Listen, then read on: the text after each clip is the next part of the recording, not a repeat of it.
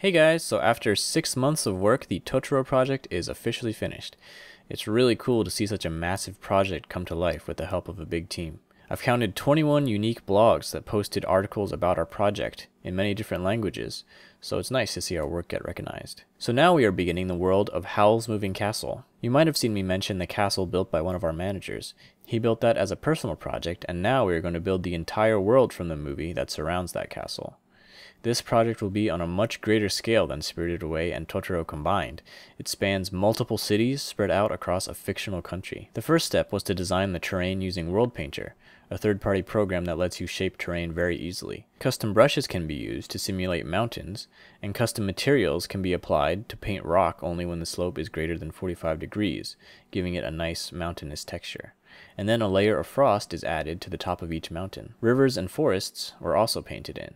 Farmland was created by drawing paths to separate the plots, filling them in using a custom material that lays rows of dirt, and then covering that with a custom layer that lays crops over any dirt block. Doing this in World Painter was much faster than if we had builders do it. Once the terrain was finished, then we could start adding houses and buildings. There are three major cities featured in the movie.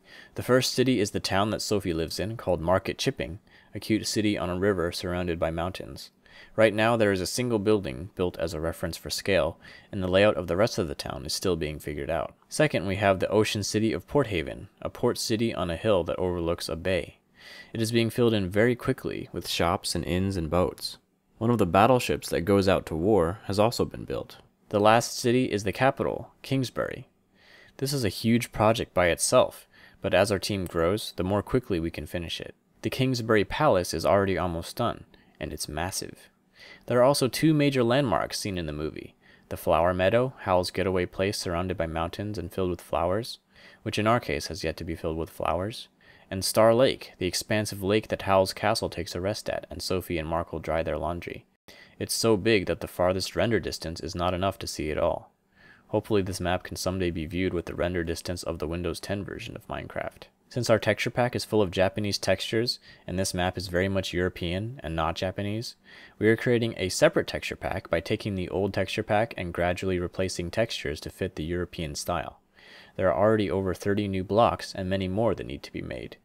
This block is a pillar type block, so depending on how you place it, you get a different texture, so the diagonal wooden beams seen in many of the houses can be designed that way, using one block. And just because Totoro is done doesn't mean we're not going to keep adding things to it. The command block artist GamerGuppy, who you might have seen through his rotational boat dynamics video, has joined our team and is working on a functional cat bus that you can ride. It needs to be skinned with a cat bus body, but the prototypes I've seen so far look amazing. Coincidentally, his partner in the boat dynamics video, Onnowhere, is also on our team, and he was responsible for redesigning our field flooding system in Spirited Away. So we are still accepting new builders. Our style has switched from Japanese to European, so this should open the playing field a bit more, since more people excel in building European-styled houses. Also with the new world, many new textures need to be made, and I can't do all of them myself. So if you excel in making textures and block models, please apply and include examples of your work. So thanks for watching, and I'll see you guys in the next video.